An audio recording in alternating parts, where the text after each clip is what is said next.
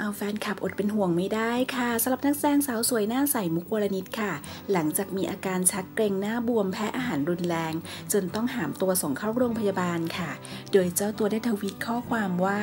มุกมีอาการชักเกรงเมื่อคืน และหน้าตาบวมตุ๋ย น่าจะแพ้อาหารค่ะ รอดูอาการอยู่ ถ้าไม่ดีขึ้นจะรีบไปโรงพยาบาลค่ะ ขอบคุณทุกคนที่เป็นห่วง และขอโทษผู้ร่วมงานทุกคนที่ต้องเดือดร้อนค่ะ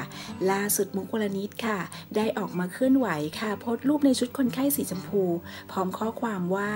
ก่อนออกจากโรงพยาบาล ขอแวบมาถ่ายรูปชุด ชุดคิ้วเข้ากับกระเป๋า อยากขอกลับบ้าน งานนี้แฟนคลับสบายใจกันได้ค่ะ เพราะเจ้าตัวออกจากโรงพยาบาลได้แล้วค่ะ